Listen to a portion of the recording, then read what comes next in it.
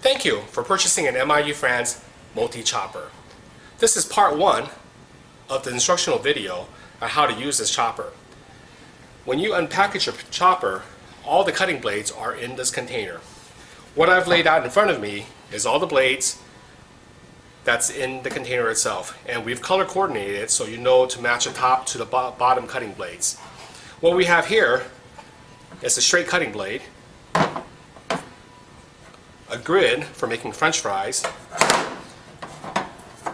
a wedger for lemon, lime, that kind of stuff, a core for apples, and a cleaning pick, which I'll discuss later.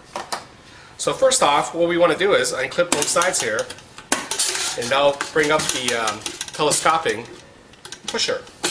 We can actually take this off. Container also comes off here.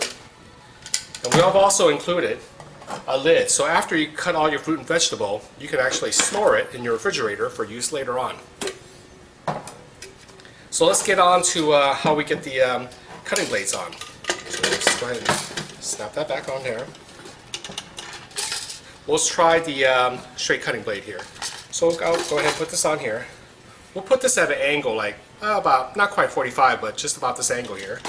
We'll put it on here, turn it counterclockwise, you'll feel a snap. We'll go ahead and put the matching color blade right in the base here. And we'll slowly press down just to make sure it matches up. Be sure when you're making the cut, put both all your fingers on top. If you go like this, you'll go ahead and smash your fingers. You don't want to do that. So you want to keep your fingers right on top.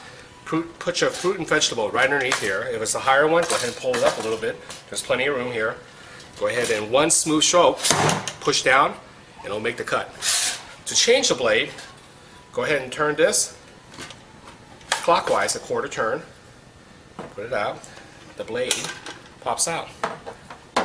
And we'll change it one more time here to the cutting blade. We'll put the cutting blade on here, the grid plate.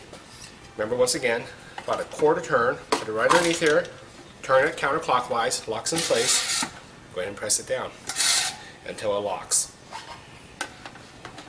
What we also included is the um, cleaning pick.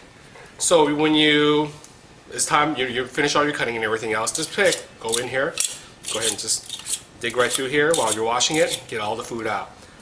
Reversible side for other bases here, so you can just go ahead and dig through there. On part two of the video, we're going to show you how to actually make the cuts with various different types of fruit and vegetable, and then um, we'll see you then. Thank you.